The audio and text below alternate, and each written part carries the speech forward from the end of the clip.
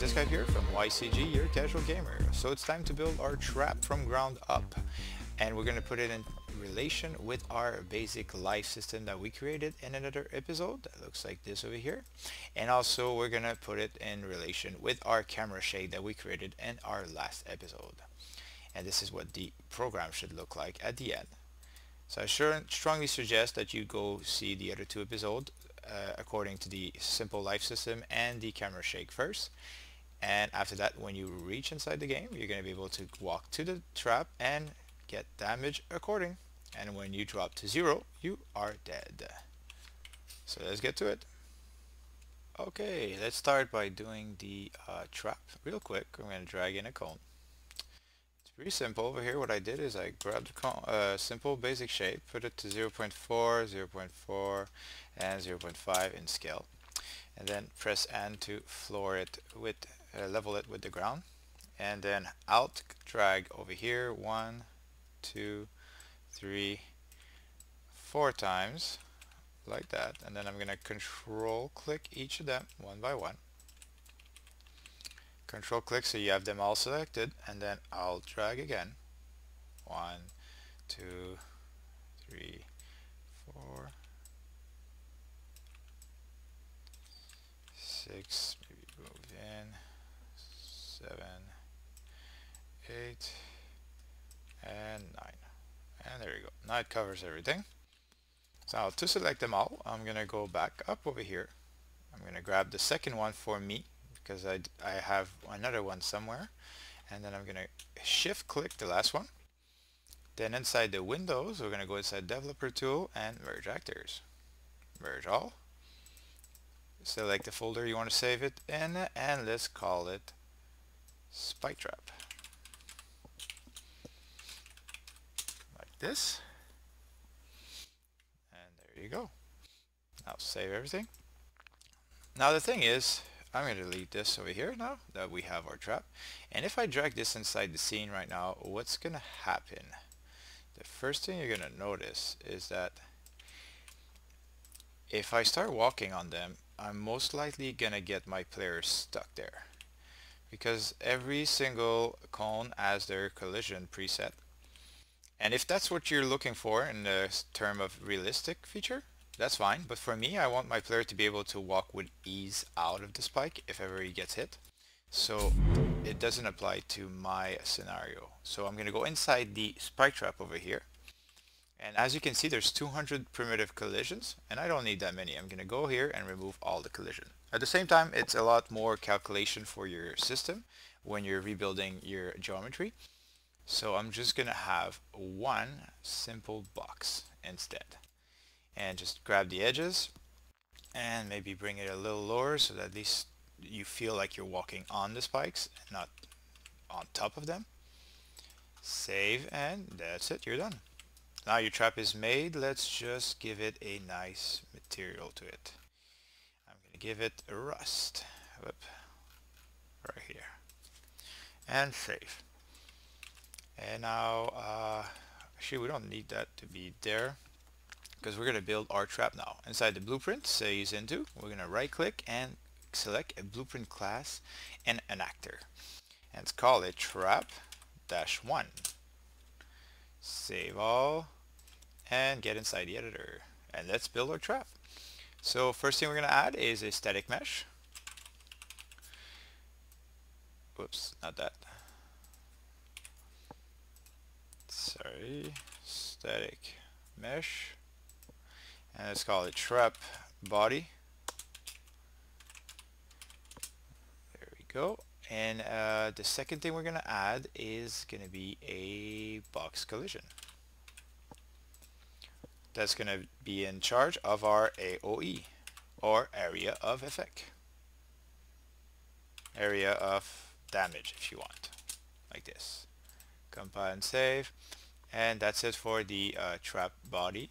Now, construction script, what we're going to be doing over here I'm not going to give it a property to my trap body in case you want to give it another one in the future.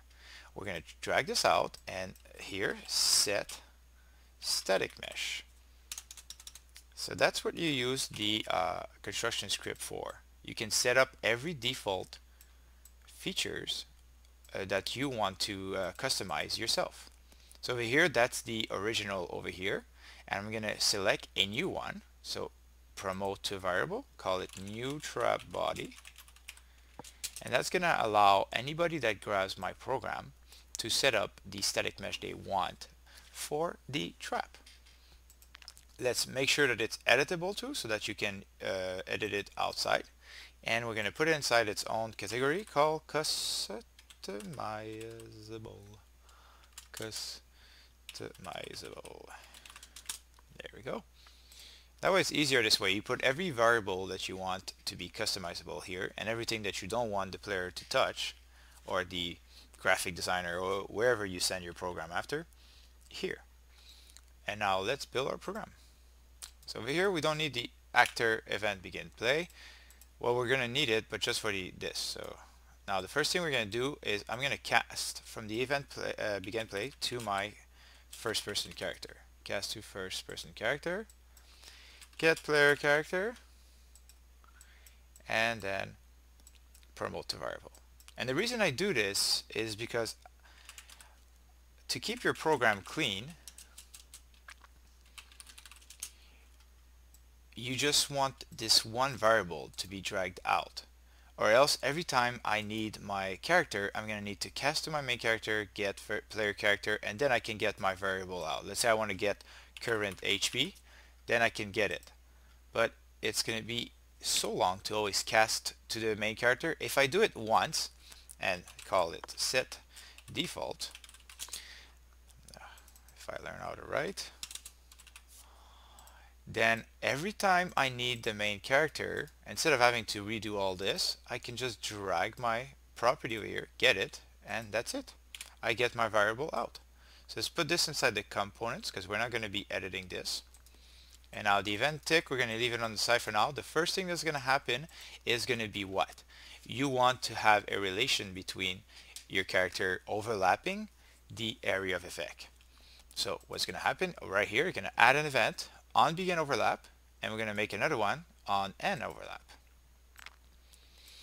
Now the first thing that it's going to check is what is overlapping. In that scenario, it's going to be your character. So there, right here, you, you drag the character, and here on other actor you're going to make it equal so if the the object that's overlapping your damage intake is your character then you branch it to tr if true something is going to happen and if false something is going to happen too. So main character over here that and then this over here keep it clean. There you go. So now what's gonna happen? The event tick is going to be firing every second to check what to check if your character is inside your area of effect. But how to check this?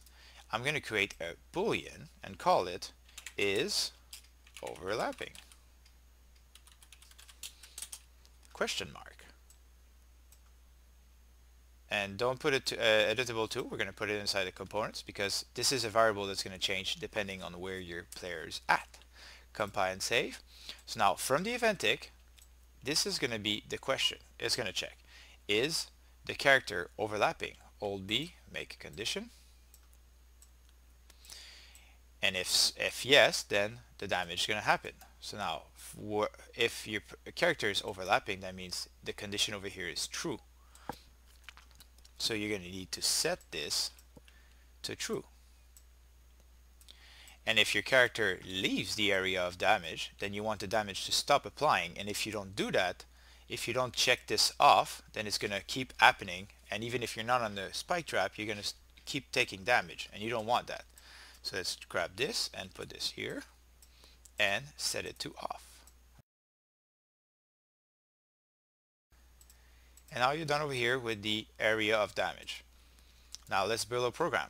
So if it's true, then we want to get our player character. First off, we're going to create a do once. And the reason we do that is because the event tick happens so fast I don't know if you remember in our previous episode, I, I think I calculated to 0.003 second every time the tick fires. So if I set up my damage over here and it happens every 0.003 second, my life is going to deplete so fast that I won't even have the time to notice that I'm being hit. That'll already be game over. So I, I put a do once so that when it fires, it only fires once and then I'm going to set a time to retrigger. So it's going to check, first off, it's going to grab the damage. So get current HP and we're going to do a minus float by float and here is where the damage is going to be. So if you want to, you can drag this out, and we're going to do that, and call it trap damage. Make it editable, because you want to be able to choose how much damage you take. And this is where the damage is going to happen. And then to make sure it doesn't go under zero, you're going to clamp the value to a float and make sure the minimum is zero and the maximum is your max HP. You could, if you want to, just to be sure, you could drag over here and get max HP and just connect it to the max. That way, if you change your max HP later in the game, it's always going to keep in mind where your max HP is going to be. But since with the value going down and not going up, then it's irrelevant to have any number here because it's always going to be subtracting and not additioning, not adding anything to it. So now that you have the calculation behind, let's set the new value, the new current HP. And just for testing purposes, just to make sure our program works, we're going to drag out a print string over here, just so we get a feedback. And we're going to drag the value over here to this, and it's going to convert it like that. Now that the damage has been applied, let's see if our player is dead. So drag the my character again, get current HP, current HP, and then make check if the same value we always check before, minus if it's under 1. If it's under 1, then that means you're dead. Therefore, we're going to get the player character over here and just set current set current HP to 0 and then we can get player controller, get player controller, and apply camera shake.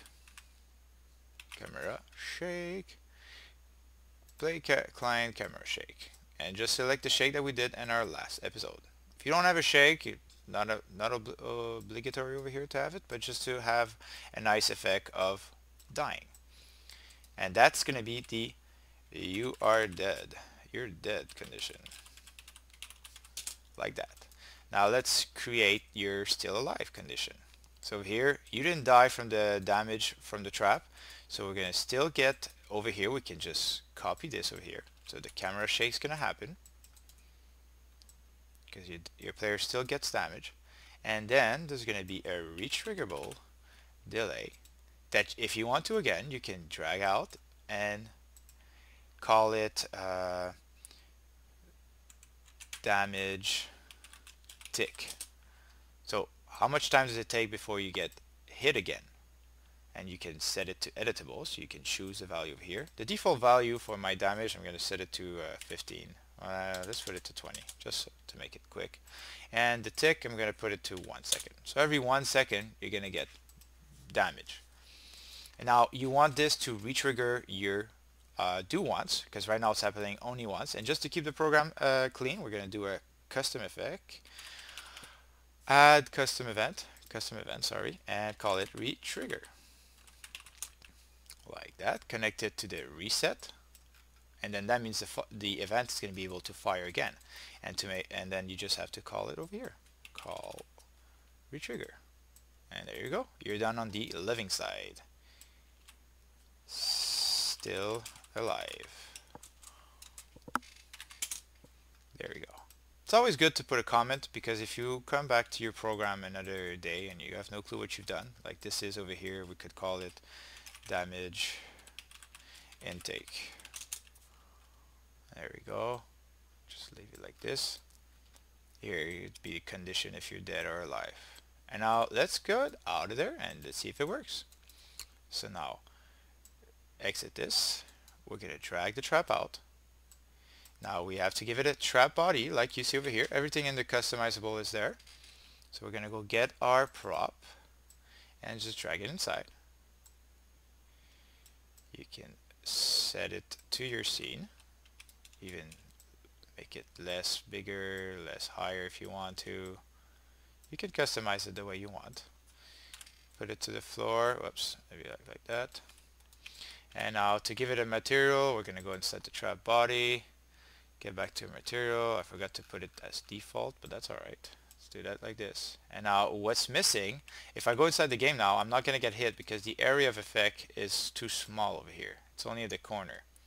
So we need to put it in the middle. And then just cover the trap with it. Because that's going to be where your damage to happen.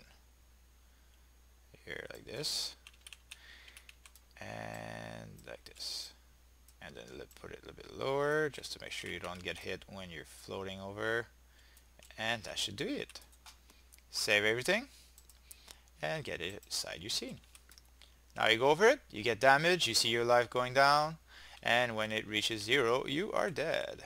Now the damage won't apply anymore because your character is supposedly dead. So hope you enjoyed this. We just created our first trap. What's nice with this after is uh, if you want to uh, drag it inside your level, have the same preset, it's just easy like this. You can just drag it wherever you want and you have a simple spike trap. And the next episode, I want to do, I want to cover a small UMG animation. So just to uh, finish our trap damage, when you get hit, just you have a little red that pops in your screen. That's a nice feature in Unreal Engine that you can easily do. And I'm going to cover that with you guys. So have a good day and see you next time.